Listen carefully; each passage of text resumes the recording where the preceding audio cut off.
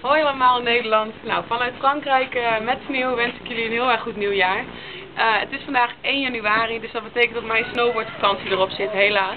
Ik heb het ontzettend leuk gehad. Zoals je ziet ben ik goed beschermd, dus geen zorgen.